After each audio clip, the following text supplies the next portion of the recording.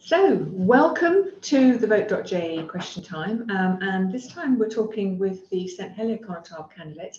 Unfortunately, we only have one. There should be two, two here. Simon Crowcroft, welcome to um, to joining us. Unfortunately, Mark Le Chevalier is unwell. He's lost his voice and so is unable to attend, attend this evening. So we won't have him, but I will be giving Simon lots of questions, I'm sure. So people at home, please get your questions in now. There is a Q&A box, which you will see on the Zoom webinar. Um, keep the questions fair. Uh, there should be questions that both candidates could answer and also obviously keep them clean. Uh, Simon will have one minute in which to answer each question and that will be timed and I will be strict on that as we have been all the way through this process. So questions in please now and as I said before unfortunately it is just Simon, Mark is unable to join us this evening. So Simon, I'm going to start first of all by saying obviously if if you were to get back in, if you were to be voted in, you, have been you've been um, Connétable for a while now. Is what is there that's burning an issue in your mind that you would want to achieve in the next term? I think there are three. First of all, the environment, and I always place at the top of my list because St Helier residents are concerned about the environment, not only about their immediate environment, but about the global environment. And I think you know we are doing a lot to support that with our recycling, for example, uh, with our extension of our parks.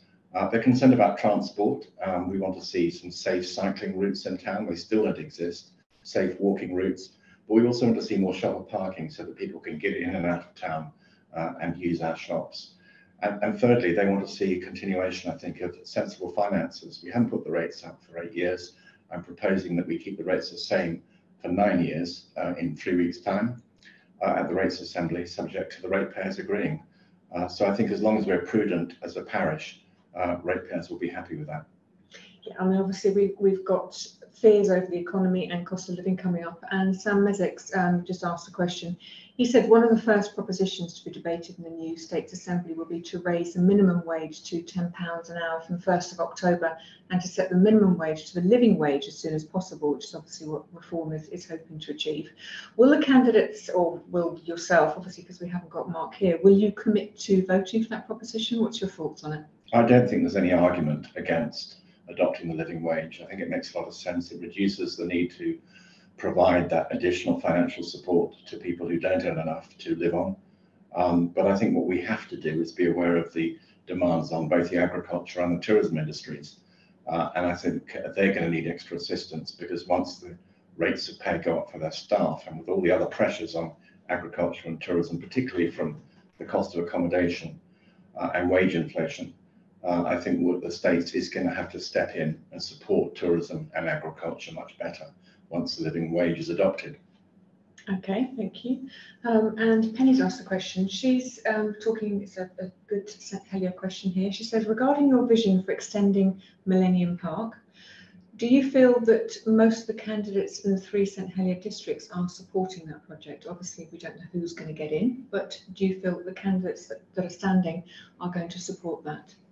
Well, judging by what happened in the Bridging Island plan debate, the answer is probably no. And I was really disappointed uh, that um, the proposition was brought to the States to build a primary school on the Jersey Gas site. And I accept we need a new primary school in St Helier, but there are other sites that could be used for a primary school. But there is only one site that can be used to double the size of the town park, and that is the Jersey Gas site.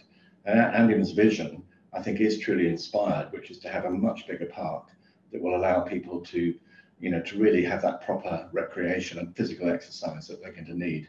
And with all the new homes that are coming into St Helier, I don't think there's any argument about doubling the size of the town park. And I, I so if I'm re-elected, I will certainly push for that. And I would hope that the new St Helier deputies would support it. Okay, thank you. Um, Sarah Jordan's asked a question. Um, she said, what provision with the elderly disabled? So do you feel that the provisions within St Helier are catering for people with disabilities um, or who might have access issues, or do you feel that more should be done? Well, we can always do more, but I think the first thing I'd say is that I've been contacted by lots of people who visit St Helier, and they're really impressed by the fact that over the years we have dropped all the curbs, uh, and there's still many towns where you can't move around in a wheelchair or a mobility scooter because you can't get up the curbs. And every curb in St Helier is now dropped. And if there is one that isn't dropped, I'd like to know about it. Um, we also, as a parish, introduce a changing places toilet facility behind the town hall. It was one of the first in Jersey, and that's not used by a lot of people, but people know it's there. Uh, and I, I certainly would like to see more changing places toilets in, in the town area for people who need that kind of extra care when it comes to going to the loo. Uh, in terms of driving, uh, there's clearly an issue about losing disabled spaces. That was very much in people's minds over Broad Street. But I do think we need to expand the shop mobility scheme so that people can actually use shop mobility scooters when they come to town in all the car parks. Um, and I have to talk about parking because that's one of the huge issues, particularly for businesses, for the retailers uh, in the centre of town. Are you happy that St Helier is providing enough car parking spaces? Are you happy with the transport system or do you think more should be done there? Absolutely. I, am not happy with the provision of parking. Uh, talk to most people who live outside town and they will say that parking is a problem. It's why they don't come to St Helier more often. Uh, and we have tried to get the states to accept that we need to provide more shopper parking. Uh, we need to incentivize parking so that you might get the first hour free uh, in Pier Road, for example, uh, to encourage people to use that underused car park. But I actually think we need a new shoppers car park on the edge of town, possibly somewhere where the hotels are coming down around the Mayfair area. And that would really allow people to get into the shops and the restaurants uh, in West Centre. It's crazy that every evening at six o'clock, Minden Place car park is full because it means if you're going to the arts centre or if you're going to a restaurant, you have to drive up to Pier Road before you can park. Okay, thank you. And just a reminder, because people joining us at home, um, get your questions in now. Um, this is the St Helier. Unfortunately, we don't have the second candidate with us, Mark Le who is unwell and has lost his voice and so wasn't able to join us, but we do have Simon Crowcroft. Um, and I want to sort of talk a little bit about um, one of the burning issues which has been discussed in every single one of these events that we've had, and I'm sure it's pretty much in every single hustings across the island, and that's housing.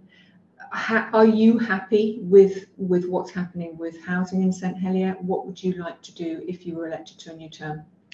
Well, I'm happy in the sense that St Helier is is taking on uh, its responsibility to provide housing in town, and, and that some people object to that. They say that the other parishes should share the burden.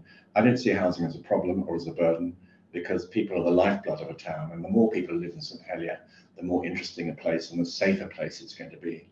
But I do think we need to bring down the cost of housing uh, and we need to increase the amount of open space that people have got to access if they are living, for example, in a flat rather than a three bedroom house with a, with a garage and a garden. Uh, and, and, there are lots of innovative ways that are being explored now to bring down the cost of housing. I've been talking to the Polish consul who's very interested in bringing in some technology that will allow us to build better homes more sustainably, but also quicker and more cheaply than the current uh, old fashioned techniques that we're still using uh, when we build homes. Okay, thank you. Um, Jay's got a, a, a, great question, which I think is obviously coming from the heart. He said, What happened to the CAMRA Annual Beer Festival? Um, and why did they claim that the cost of putting on the event was making it unfinancially viable? I believe it's on for this year. Um, Great so news for you, Jay. I, I, think, I think, I mean, it's a good question because I think the parish has got to get the balance right. Clearly, there has to be some income from events because it costs us as a parish money to put them on, but but that that cost shouldn't be prohibitive. And I've, I've reintroduced the first ever St Patrick's Day parade this March. We had a fantastic St Patrick's Day festival in Parade Gardens, and I, I want to see more festivals, more events, because that's good for local people, but it's also good to bring tourists into Jersey into St Helier uh, to enjoy our festivals. Okay, thank you. Um, and we, are talking again about accessibility because Trish has come back on the accessibility issue again. She says that from a disability point of view, even if you have parking on the outside of town, there's so much pedestrianised area that with those with physical disabilities can't get to the shops. Do you have an answer to this? I mean, it's a difficult one, isn't it? It is. Uh, you know, I've had long discussions with people who really miss the full spaces in Broad Street, and some people who've told me that they used to drive around St Helier for hours waiting for those full spaces to become available. Now, if you think about that, that's not really a sensible use of the motor car. Uh, and I would much rather, we, we have replaced the lost spaces in Broad Street uh, in Humeric Street. And, and, clearly, there has to be a priority of on street parking for disabled people. And I suspect we need more spaces than we've got, and that's very much up to the minister, the next minister of infrastructure, who controls that um, that, that proportion. Uh, but as I said earlier, I think we need shop mobility to expand. When you go into a UK town, every car park around the town will have shop mobility, uh, and you you go in in your car, you park for free, you get into a scooter, and you've got access to the whole town. And it seems to me that's a really good solution for a lot of people. Okay, thank you. Um, we were talking about housing there uh, earlier on about, and you, you talked about buying houses because uh, a lot of people rent. Um, Sam has also, uh, Sam Mézec again has asked another question. He said that there's going to be another proposition which will arise early on in the new assembly, and that will be to appoint members to a re-established rent control tribunal. Will you support, uh, vote to support re-establishing that body? That's I think I think the housing, well, the, the outgoing housing minister uh, Deputy Labey has already committed to a rent uh, control tribunal. So that to me is not controversial. Uh, I think it, it, it, makes a lot of sense. I mean, the, some people object to intervention. And I, I, think, I mean, I've spoken to some landlords who are concerned about the amount of time the state spends debating propositions to, to try to control how rented property works. And I know some people simply are not renting their properties anymore because of the onerous uh, red tape that, that surrounds it uh, they, they regard themselves as responsible landlords that you know shouldn't be made to jump through all these hoops in order to let their properties. Uh, so we have to get the balance right between controlling and, and regulating uh, the rental market, but actually encouraging people to to put their property into it. So we need to get that balance right. Okay, and, and one of the clearly one of the, the big issues for people going forward, and there's a lot of worry over this, is the cost of living. Do you see any kind of role for the parish in helping with that? I think I've already mentioned that the parish has frozen the rate for eight years. Uh, that's 23% inflation, and that's all of our staff, over 200 staff.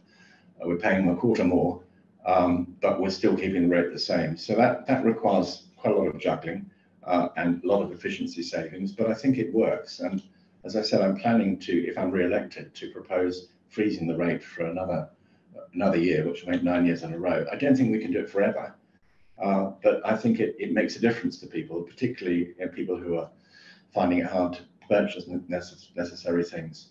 Uh, if the parish can do other things, you know, we have a small team of, of helpers who, who, who look after the less well-off people who have fallen through the net of income support, for example, often come to us. Um, we've got various grants that we administer. So I think we can, as a parish, look after people well. Uh, and I think that's something we'll continue to do. I know one of the questions that's come up quite often in, in events is whether or not candidates would support taking GST off food. What, what are your views on that? Well, I took the first uh, petition to the states many years ago to stop the introduction of GST. I still think it was a backward step.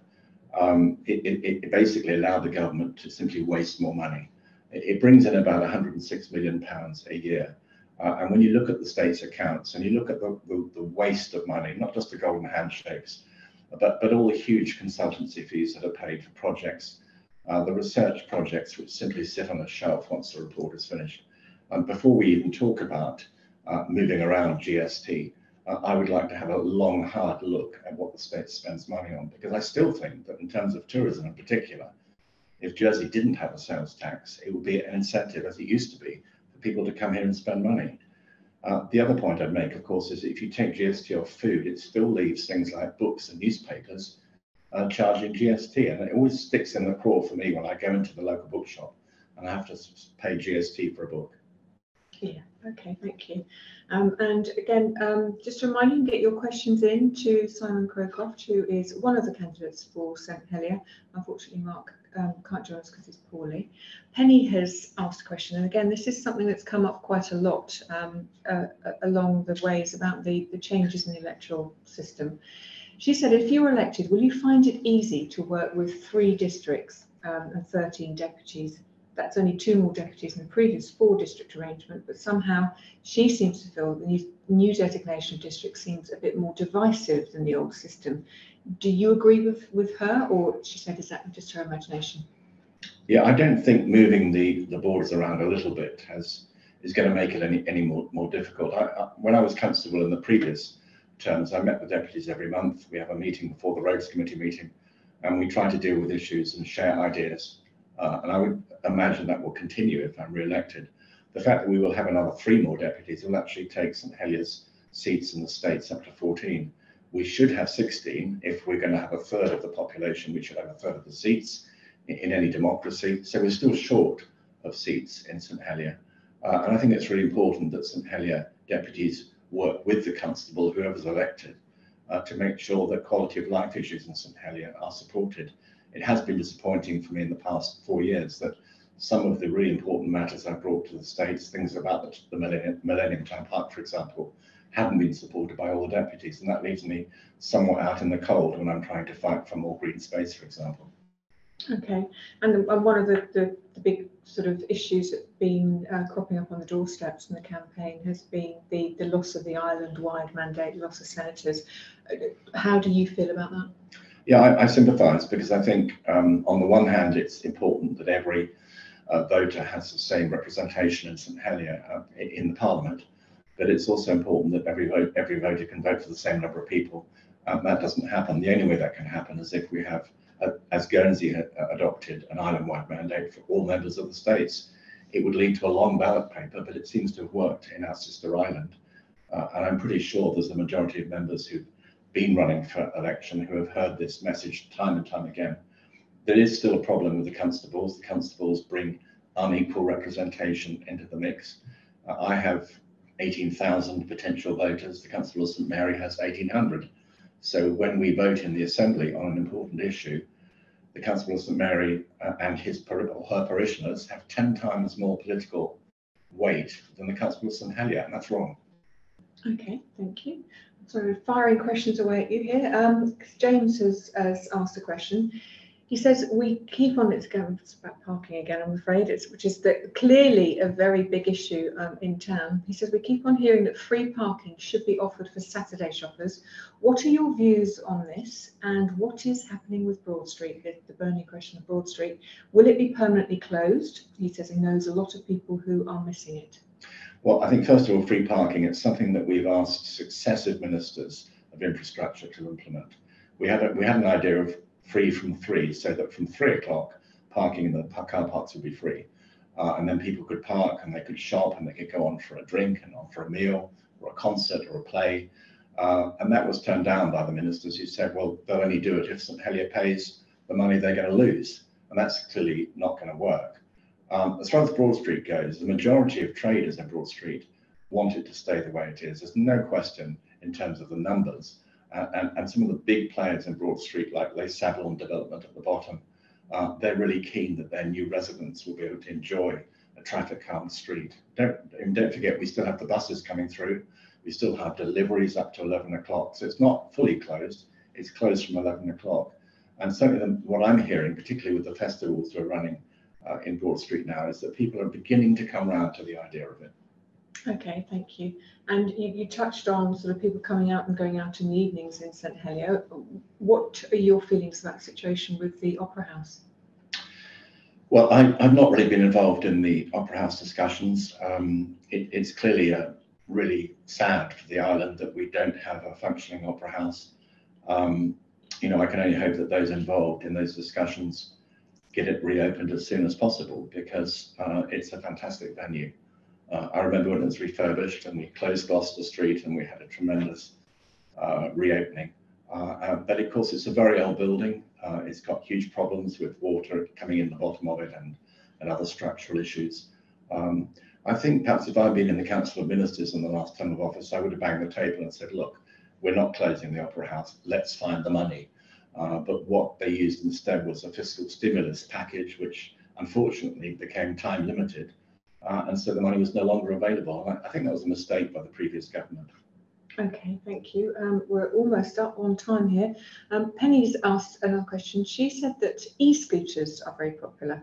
Um, and it's easy to see why, she thinks, because parks and open spaces are obviously going to be attractive to the use of them.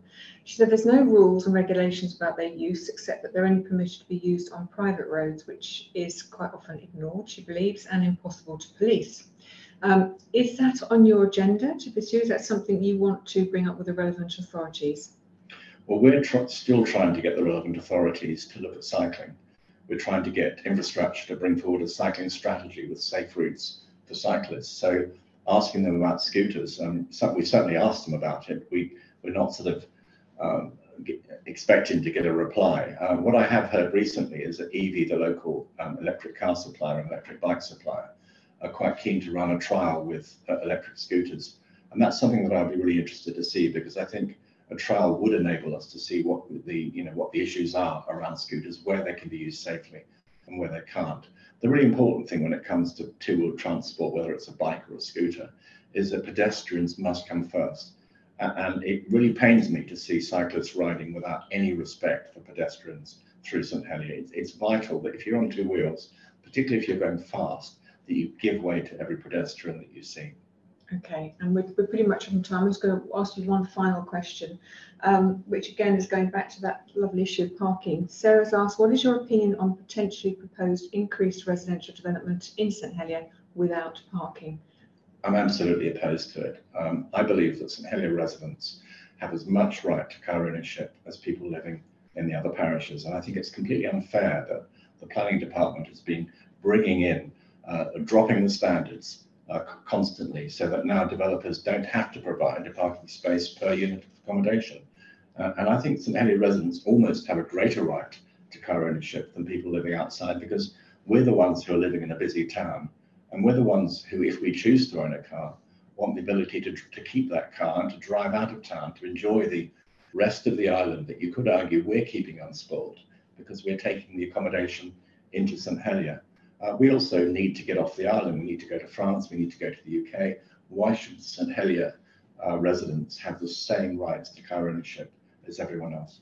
Okay, thank you very much. And We've we've uh, asked you lots of questions. Um, that's uh, St Helier Connétable uh, candidate Simon Crowcroft. As I've mentioned at the start, unfortunately Mark Le Chevalier couldn't join us because he's lost his voice and is feeling poorly. But um, the election is coming up very soon. You're going to be able to have your say in, in a week's time. Pre-polling is open if you want to go to pre-polling because you might not be on Ireland. That's in the St Paul's Centre in town. And of course you can find um, all the information on vote.je. Thank you very much, Simon, for joining us. And thank you everybody at home for your questions.